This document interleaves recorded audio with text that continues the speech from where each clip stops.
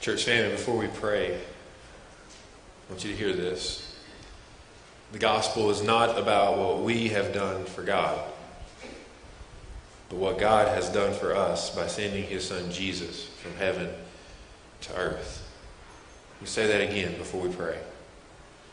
The gospel is not about what we have done for God, but what he has done for us by sending his son Jesus from heaven to earth. Let's pray.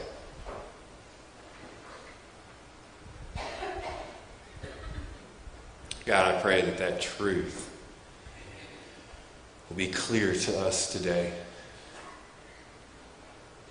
That we are not sitting here as redeemed believers because of anything that we've done. That we are here as members of the household of God because of Jesus. Because Jesus came.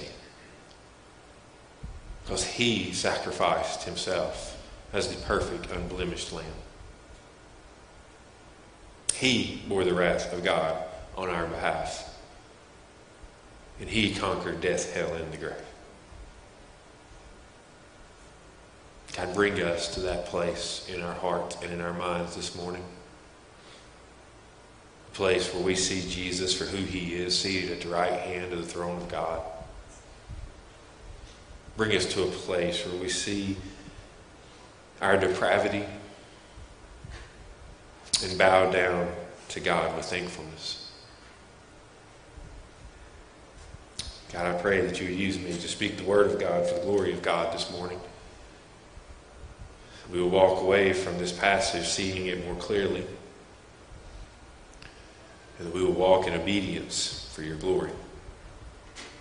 It's in Jesus' name we pray. Amen. I so much want you to get that truth this morning, and I pray that you have. That the gospel is not about us, but about God.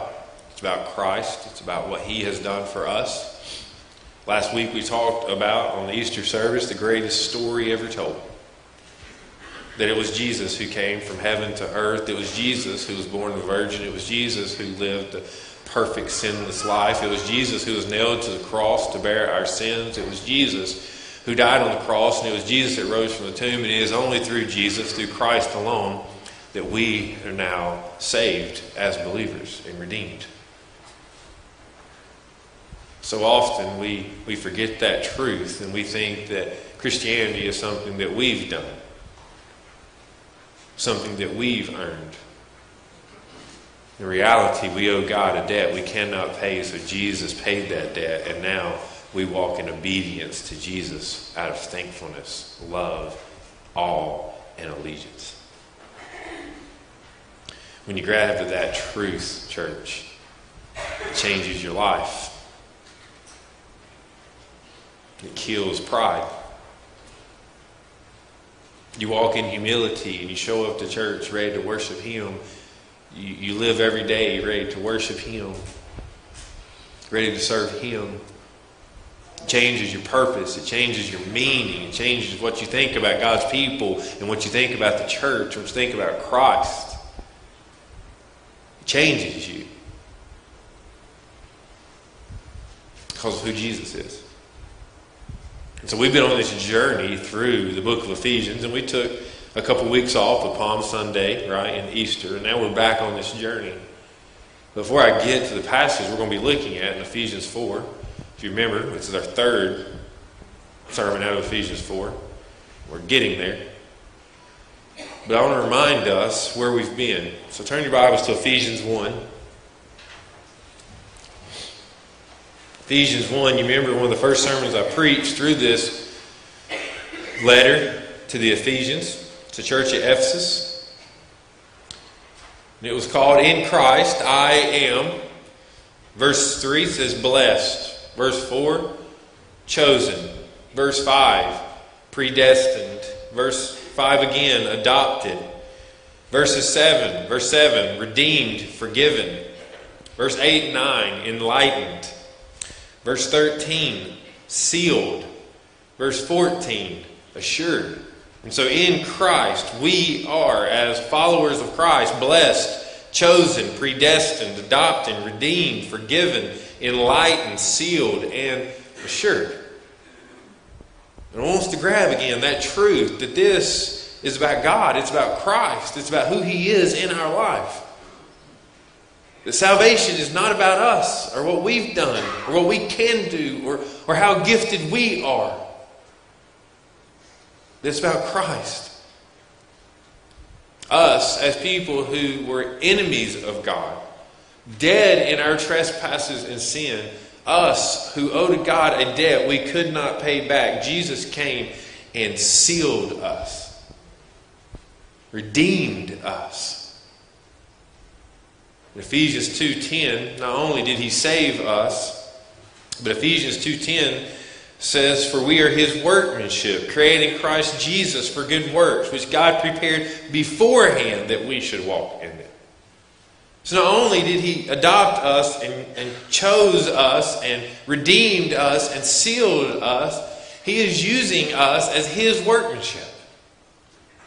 Like let that let grab that. The God of the universe that created all things who we sinned against sent his son Jesus, our Savior, to redeem us, and is now going to use us.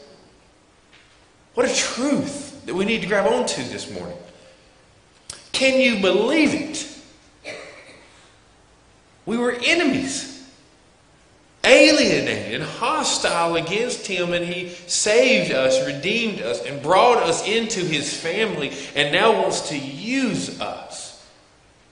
So he's given us meaning and purpose. Knowing those truths, now here we are in Ephesians chapter 4, and he's talking about unity in the body of Christ, the body of believers, the church. So now here we are. God has given the, great, the gift of grace, God's favor to his bride.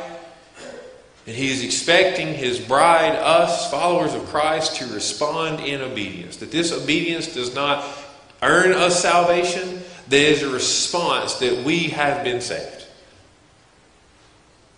And so let me ask you before we get into this passage of Scripture are you thankful that you've been redeemed? Are you thankful that God has saved you and redeemed you, bore the wrath of God on your behalf. Are you thankful? Because if you are, that, that should change how you live. If Christianity is about you, you've earned the right to be entitled. But if it's about Christ, you should be walking in obedience and humility. You see, we live in a time in American church where people are preoccupied with how many bodies are in the building.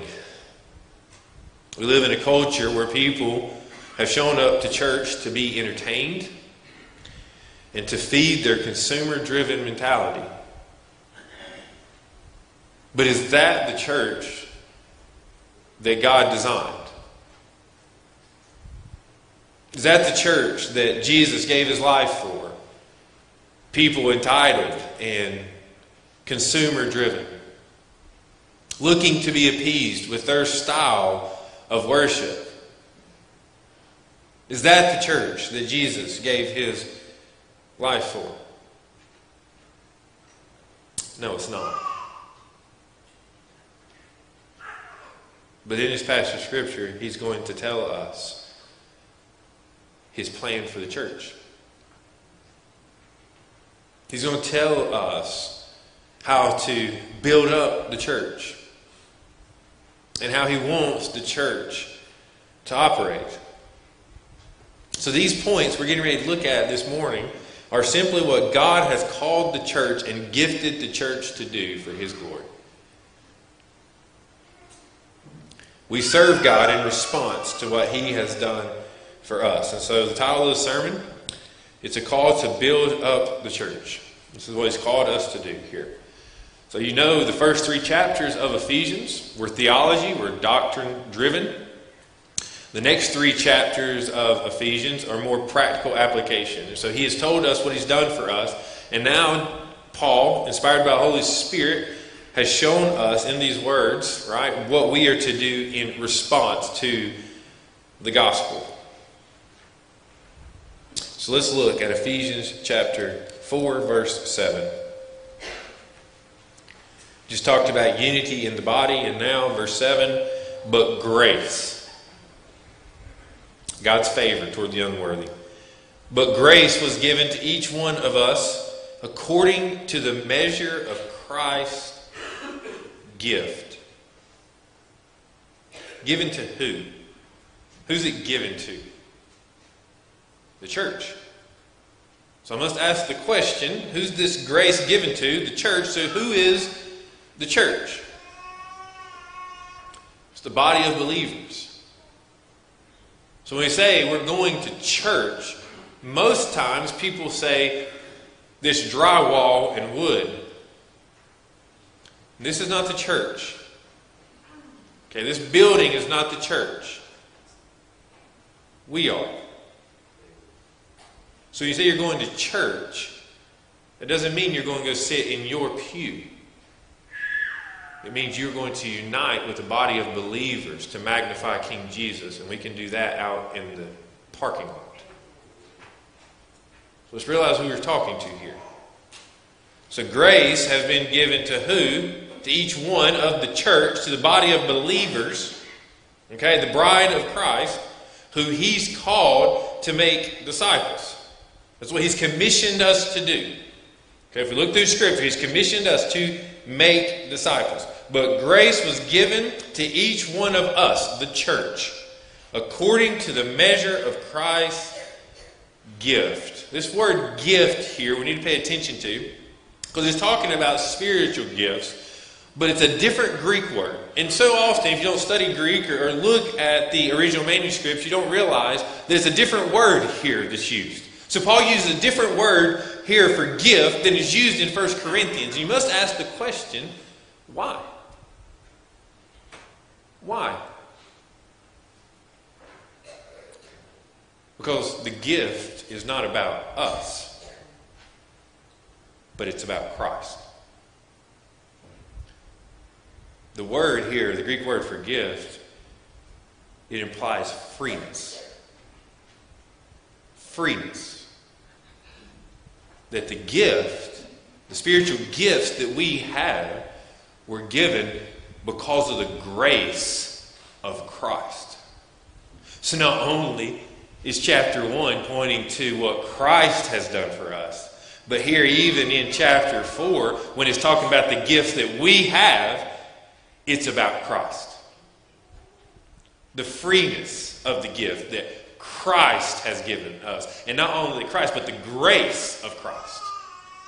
And so the word here is talking about the same spiritual gifts as 1 Corinthians, but the word here implies the freeness.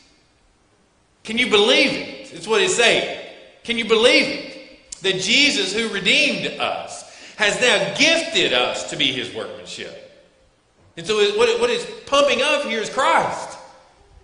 That it's Christ who gave it to us.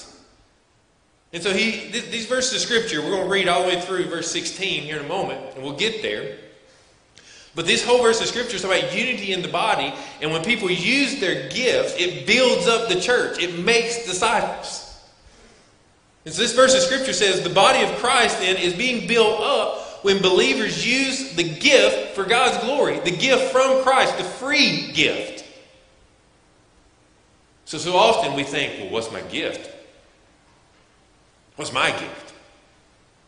Again, it's good to know that, but you're missing the point. It's from Christ.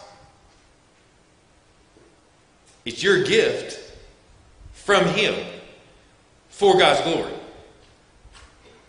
It's a beautiful, beautiful passage of Scripture. Continue on, verse 8.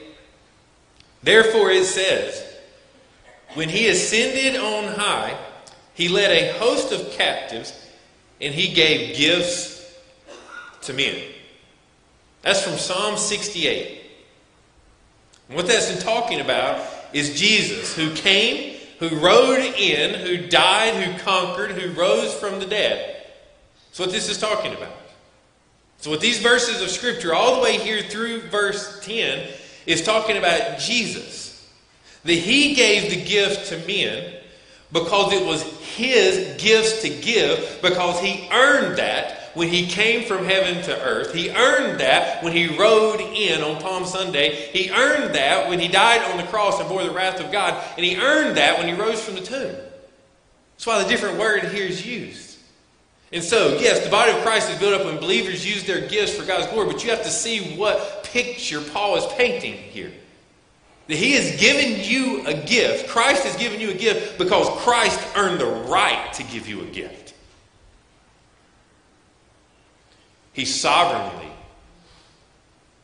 chose your gift to give you to build up his church that he died for. That's what Paul's telling us. It's not about you promoting your gift. It's not about me standing up here and saying, Well, I'm the pastor. Because I have the gift of communication. I hope.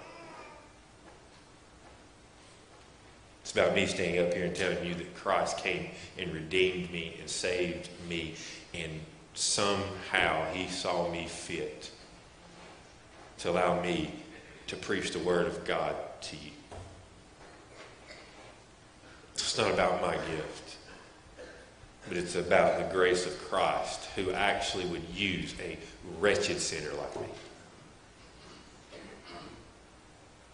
And so I want to be found faithful because of what Christ has done. And you should too. So God has called you to be his workmanship. He came, Jesus came, and he died for you, and he adopted you, and he sealed you, and he's using you as his workmanship, and he has sovereignly paid the price and sovereignly gave you a gift that he has put on you on purpose for building up his church. So, how do you respond to that? Like me, it makes me want to just sit down and just take a moment. That the God of the universe gave his life and then rose from the tomb and said, Now I'm going to build my church up using the people that I died for, and I'm going to gift each one of them uniquely in how I see fit because I'm all wise and I'm all knowing, and I've earned the right to gift my church that I died for. How do you respond to that? Besides just saying, Hey, God, I'm going to use whatever you give me for your glory. I'm going to serve you. I'm going to find out what you've called me to do, and I'm going to sell out all in for the glory of God. That is completely different than people who call themselves Christians that come and sit in a pew and look to be entertained versus Christians who walk into the church ready to serve the church and use their gifts for building up the church for the glory of God. That is two different Christians. God has not called us to sit and consume. Jesus gave his life to gift you to build up the church. That's what the verses are telling us. So when it's quoting Psalm 68 right there, it's telling you what Jesus did to gift you. He died for you. He sealed you. He gifted you for His glory. So, why is the word different? because the gift didn't cost you anything, but it cost Jesus everything. That's why the Greek word is different. Because it's free to you and me. It's free. It cost Jesus his life. May we respond in obedience. Three things I want you to grab about gifts. So often in the church world, especially right now with some growing denominational teachings, that sometimes gifts are promoted as higher than others, which is sinful. So there's three things I want you to grab about these gifts that God sovereignly gives. Number one, gifts shouldn't be sought after. He'll give you the gift that He wants you to have for building up His church. Well, I feel like I need this. Well, you're not the all knowing, all wise God.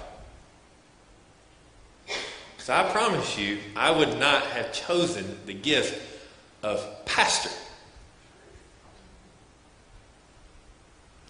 Um, my weekends would be a lot more pleasant.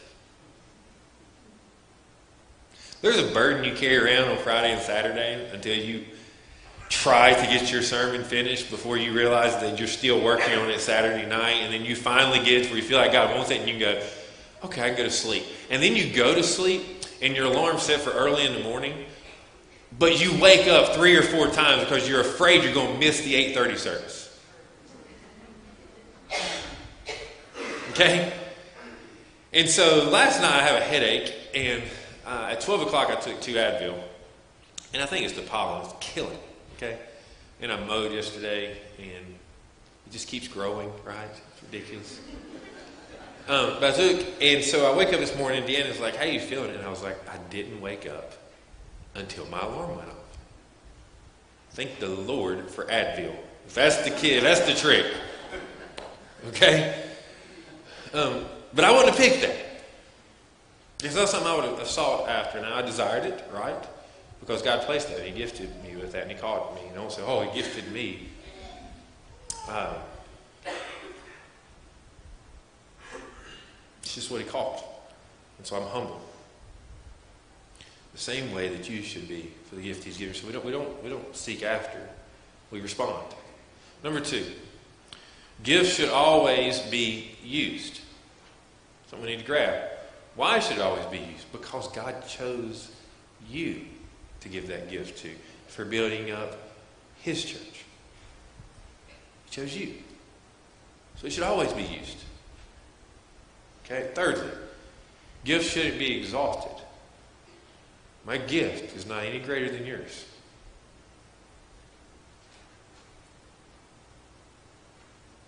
It's not. Other people's gifts are not any greater than yours. We're all part of the body. And working together, we build the body up. So know that. These gifts are by God, about Christ, about what He has done. Church, this is why you hear me preach that membership matters.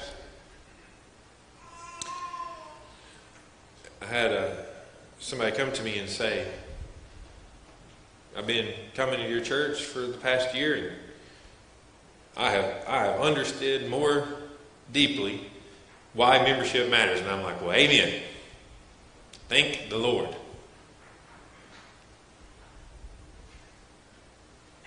God died for his church. The letter is written to the church. God gifts his church to build up his church. So you need to be a part of the church. I don't know how else to say that. That's why membership matters.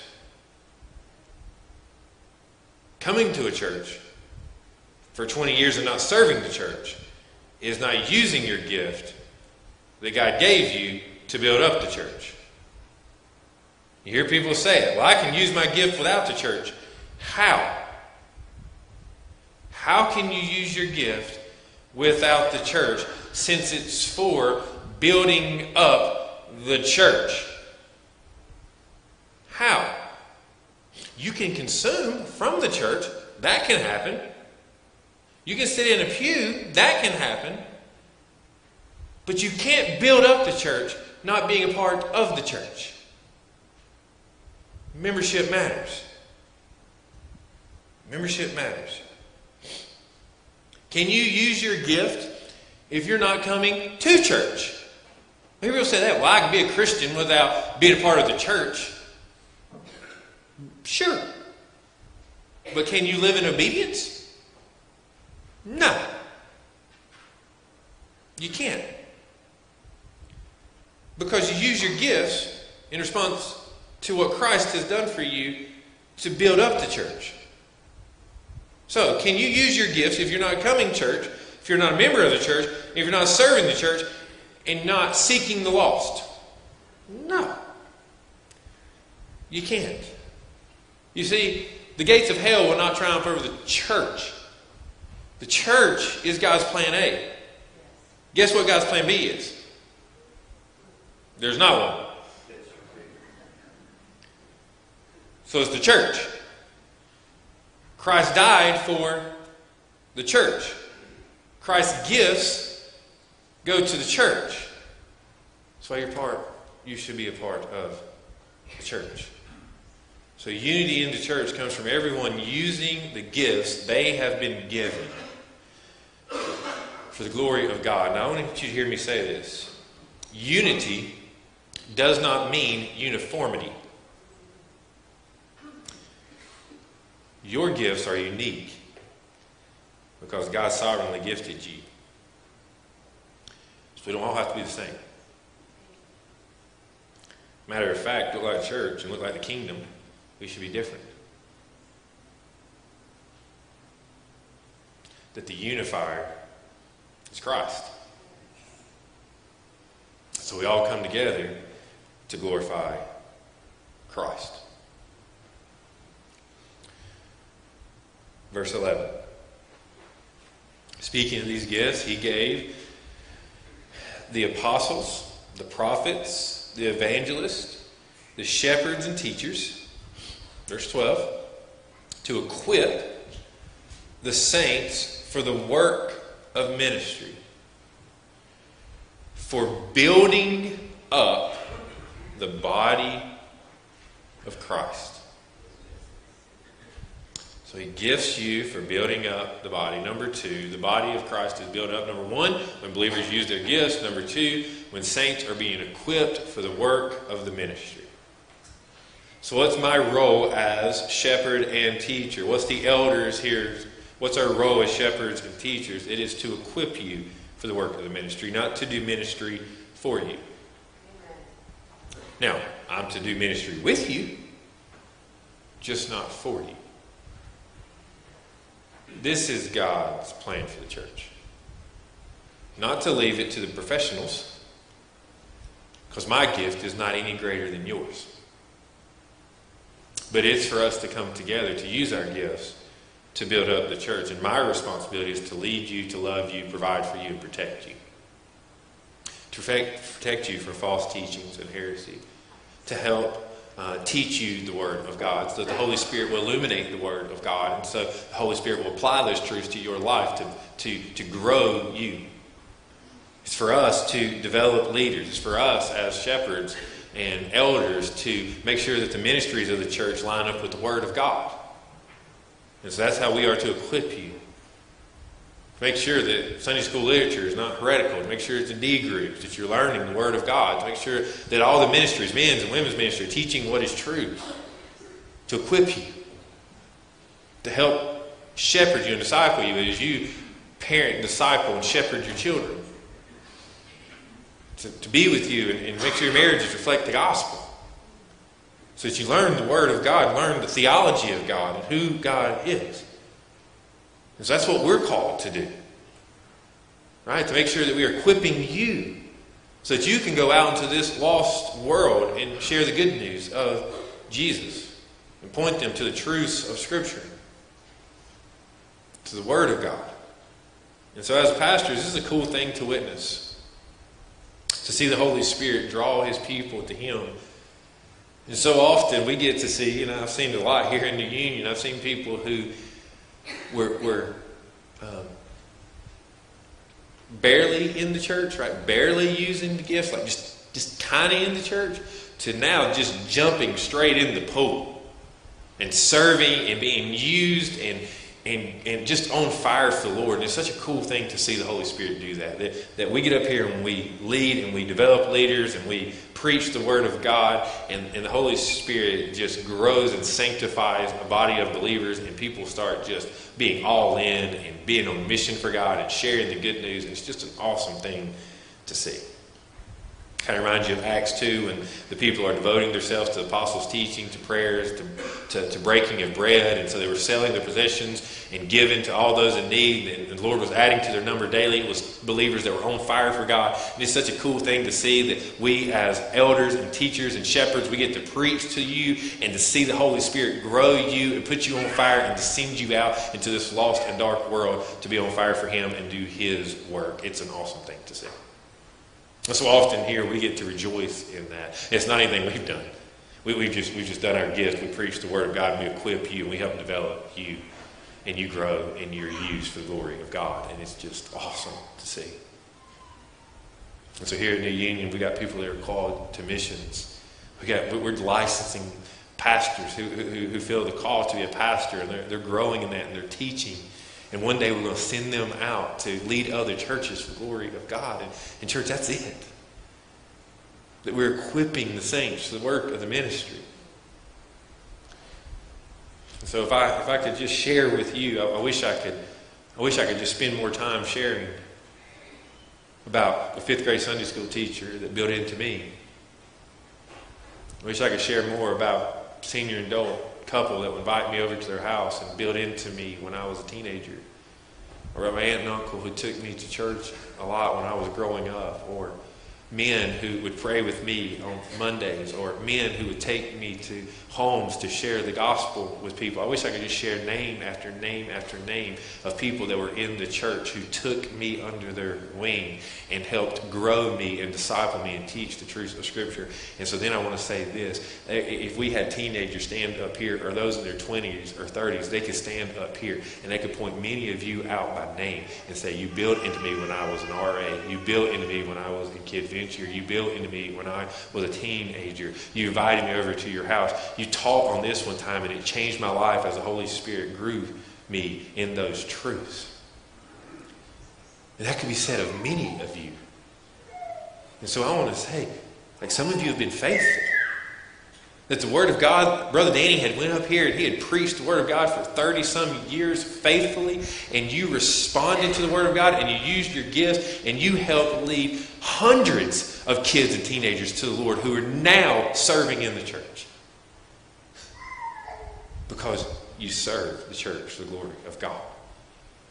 Because you let the pastor speak the truth and equip you so you could go and teach teenagers and children and disciple your own children who are now raising their children to glorify God. And so for that, I say, well done. And so you've seen this church be built up and grow in maturity because generations of faithfulness have responded to the gifts that God has given them.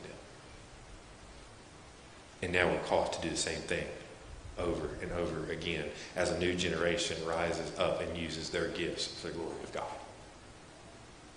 So for you who spent that time and are still doing it, well done. Let's continue. We've seen it. And so the body of Christ is built up when believers use their gifts the glory of God. is built up when saints are being equipped for the glory of God. Continue on. Verse 13 Until we all attain to the unity of the faith and of the knowledge of the Son of God, to mature manhood, to the measure of the stature of the fullness of Christ. Number three, the body of Christ is built up when the Word of God is central and faithfully being proclaimed. This is what it's saying here. Until we have attained the unity of the faith, the faith and of the knowledge of the Son of God. This unity in the faith means when the word is taught rightly, believers grow spiritually. When the word is taught rightly, spirit, believers grow spiritually. This knowledge here, so that, that's unity of the faith. This knowledge of the Son of God, this is not salvation, okay? This is talking about deeper sanctification that comes from growing in the Lord through prayer, reading the Bible, fasting, and obedience to the Word.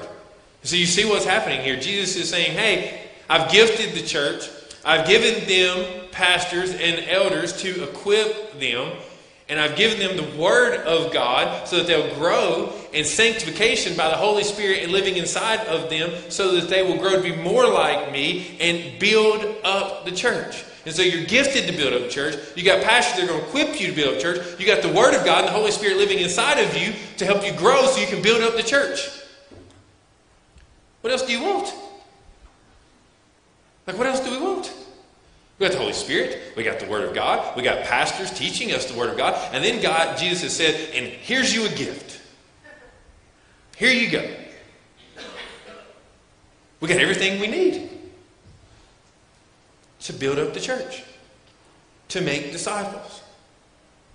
I love what he says. Verse 14.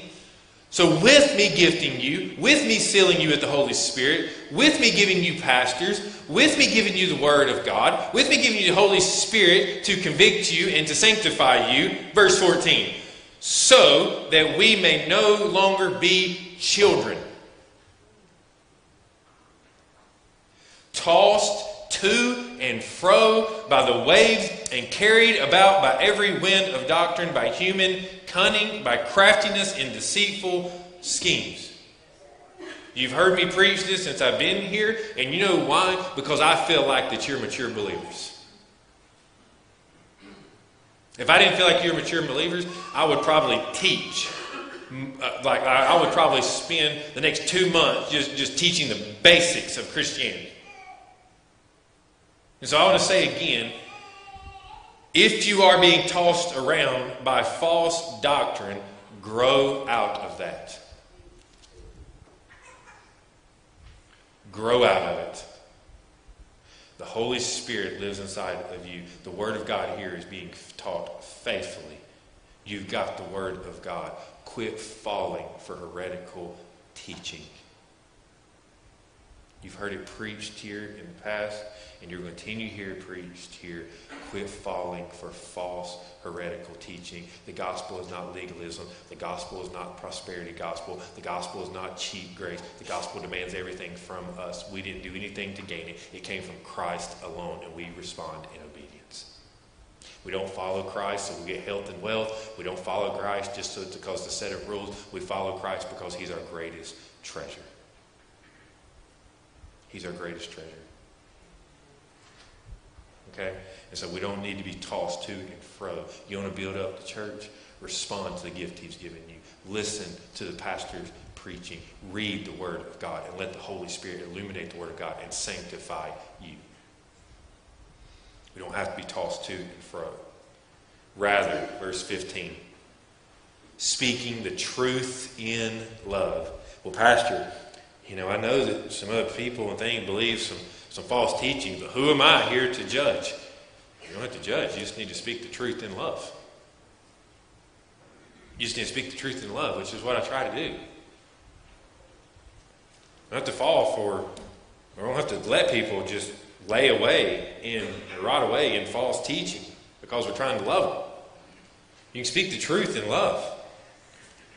We are, grow, we are to grow up in every way into Him who is the head, into Christ. We are to grow into Christ, who is the authority. And so it's kind of bookended here. Our gift starts with Christ, and we're to grow to be like Christ. And I love how he ends this, this thought here. Verse 16 From whom the whole body not one piece of the body, but the whole body, joined and held together by every joint with which it is equipped, when each part, not when the pastors are working properly, not when one believer in the church is working properly. Listen to what it says. When each part, each person that Christ has gifted for building up his body, when each part is working properly, makes the body grow. So that it builds itself up in love. You see the picture here? The body grows when we serve God in obedience, when we don't exalt our gifts, but we humbly serve in gifts that God's given us. And so it's not about one person, but it's about a body coming together, bowing down and serving a holy God and responding to everyone in love because of how much we love God and love others. Do you see the picture? We don't fall for, for the, na- the next uh, charismatic thing. We don't fall for the next um, big show. We just come to church. We serve the church. We serve Christ. We read our word. We listen to the apostle and the, the, the pastor's preaching. And we go out in this world and make disciples. We love one another. We encourage one another. We build one another up because we're the same body with different gifts for the glory of God. It's a beautiful, beautiful thing. And so I end with this. Can you believe it?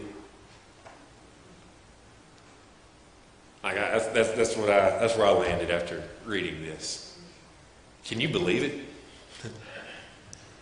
we who were alienated enemies of God, having been redeemed through Christ, are now members of the household of God. Can you believe it that we have been gifted with gifts that the sovereign Lord has given us and chose us to be his workmanship? Can you believe it?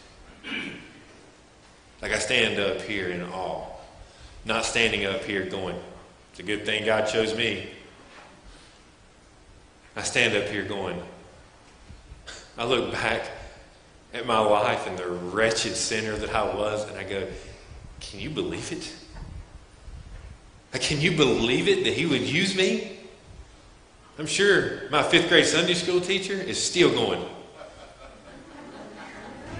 Right?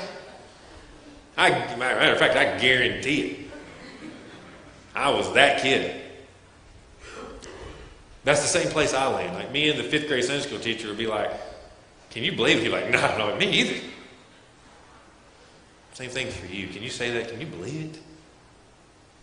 That God has chosen you, saved you, and now has given you meaning and purpose for building up his church, you know what it should make us want to do? Just bow down and say, God, use me. Use me. That's where I landed 14 years ago, to back of a church, bowing down on the ground, saying, God, use me. That's where I still land today. Reading this verses of Scripture, saying, can't believe it. Can't believe you'd come and die for me. Can't believe you'd give me, but I want you to use me.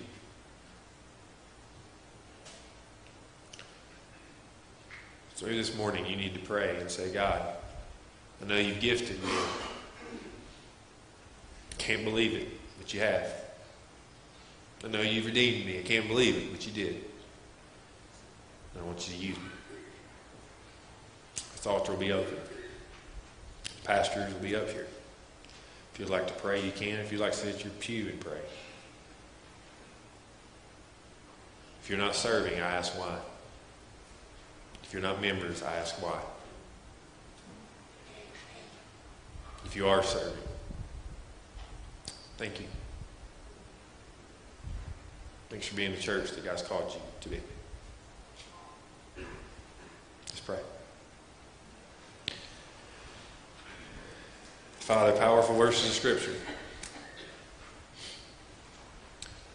Sometimes it just makes me pause and I go, I can't believe it. But I'm so thankful, God. And Father, I know there could be someone here that's lost. For the first time, they've actually seen the grace of God. They've repented of their sins they're ready to follow you. So I pray they'll come and follow you. Maybe there's people here, Father, that won't be used. And you want to use them. And so I pray that they'll take the next step in obedience. Have your way right now, Father. Holy Spirit, move. And may we worship you. Jesus' name I pray. When